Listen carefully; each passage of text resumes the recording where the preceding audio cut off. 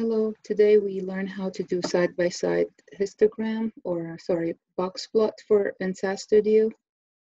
And we're gonna use this data that has ozone, solar energy, wind temperature for five months. It's called air quality. We're gonna go to tasks, data, and then stack split columns and we're going to pick the table, which is air quality. And under method, we're going to select stack columns. And then for the columns, we're going to select four the four uh, variables, ozone, solar, wind, temperature. Hit OK.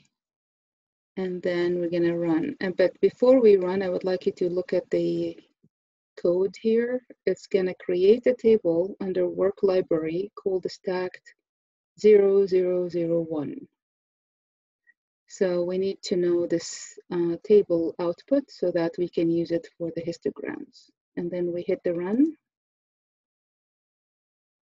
Okay, so now it created a column uh, table called uh, stacked 0001 with the following columns case, level, and new column. So now we go to tasks, graph, and box plot. And in the data, we click on stacked 0001 table. And the analysis variable will be the new column.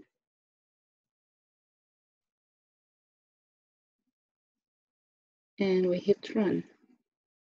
Actually, the category will be level. Hit OK, and when we hit run.